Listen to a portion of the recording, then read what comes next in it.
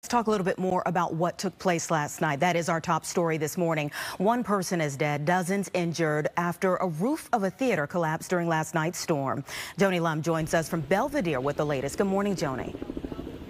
Good morning, Anita. There's been a, a, cleanup and investigation mission going on all night here in Belvidere.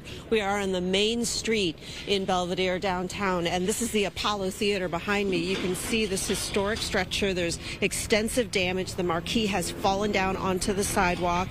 Um, this is where a concert was about to take place last night, and it appears to have taken a direct hit from the storm. We have some aerial views that are very revealing. You can see that two parts of the roof of this structure have been torn away or fell down during that storm. Um, there's a back part of the theater and then the front part of the theater where you can see straight into the building where it apparently the roof collapsed. Also, you can see some of the other damage here in Belvidere on the main street. There's a giant rooftop in the middle of the street that appears to have come from somewhere else.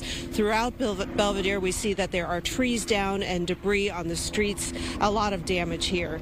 There were reports of 90 mile an hour winds last night as violent weather moved through Illinois. Illinois. It caused the roof to collapse on top of the crowd that had gathered near the stage.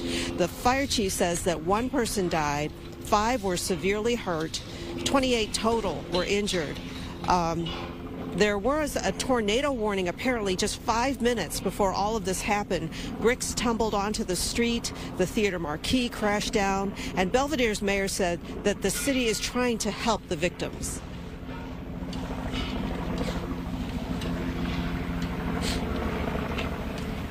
It collapsed on all the guests and uh, the workers, the employees, the staff, and uh, you know, um, I thought, I'm sure they felt they were in the safest place they could be, but um, that's why it, it uh, makes me wonder about uh, what actually uh, the event was with the wind.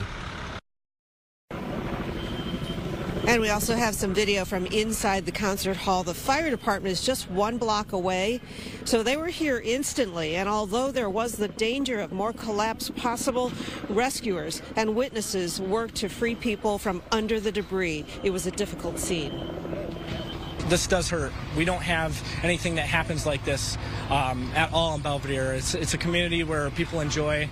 Um, it's it's relatively safe, and for something like this to happen so close, it, it hurts.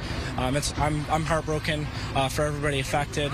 Um, I, I, hope um, with the little bit of leadership that I can show within my generation, especially in the high school, um, we're able to do something that'll um, make this a better outcome. And the Apollo Theater was not the only building damaged here in Belvidere. The, excuse me, there's a building across the street that also sustained some damage. Perhaps that's where that rooftop came from. But the fire department said that they had to thoroughly search both of the buildings. They also had some fires going on from gas leaks, electrical fires. They had to do uh, an elevator rescue at another location last night. All of these things happening due to the storm that caused so much damage here. Governor Pritzker has reached out to the mayor. They've talked, and uh, uh, the governor is offering some support. Reporting live in Belvidere, I'm Joanie Lum. Now back to you. Joanie, thank you. And